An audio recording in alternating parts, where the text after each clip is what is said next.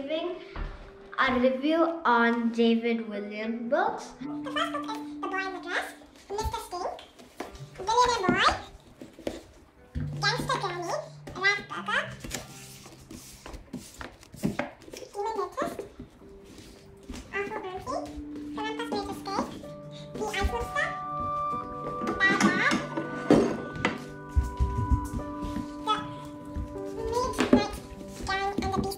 Beast of Buckingham Palace, Slime, Fing, World's Worst Children 2, World's Worst Children 3, World's Worst Children, World's Worst Parents, and World's Worst Teachers.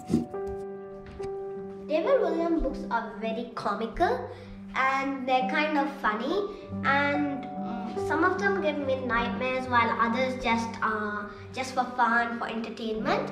But even though I really don't recommend pe- sensitive people to be reading it because it might have some bad bits which really they can't really take in. I've read these books ahead of my age group. The thing that encouraged me to start reading David Walliams books was Awful Auntie. This is the first book I read, and I kind of was encouraged to start reading it from it said the winner of the National Book Award, which made me think, okay, this is going to be a good book. And after I started reading for a moment, I like felt that this is going to be a good book. Um, and there's funny bits in it, there's some serious bits in it, um, and it kind of made me like want encouraged to read more and more. The boy in the dress is kind of funny how bo- how the, the boy Dennis is wearing a dress and everyone in school is wearing dress um, because of the match. And Mr. Stink, I'll say in the end, it has kind of a sad and it's all about um, a girl called Chloe who makes friends with this tramp, the local tramp called Mr. Stink.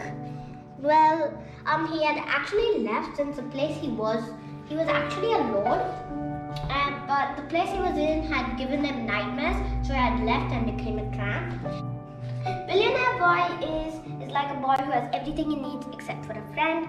Gangsta Granny, I'll say, is super funny. And most people think it's very funny since a, a granny is actually a jewel thief.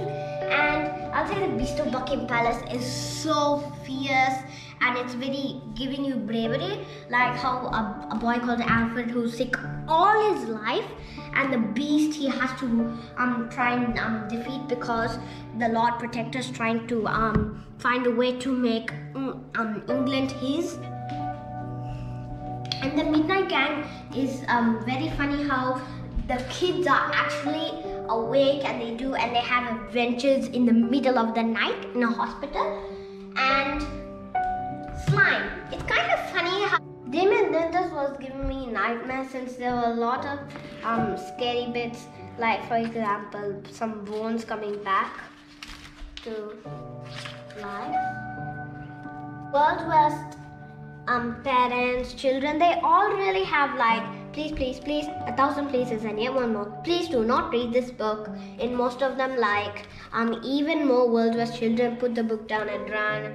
Um, you've met the World's Worst children, you've met the World's Worst teachers, now laugh your socks off at the World's Worst parents. They like keep very funny. If you have already bought it, destroy it. If you are browsing through it in your local librarian, take it outside, tear it up, stamp it, tear it up again just to be sure, and then bury the pieces deep underground to be totally safe.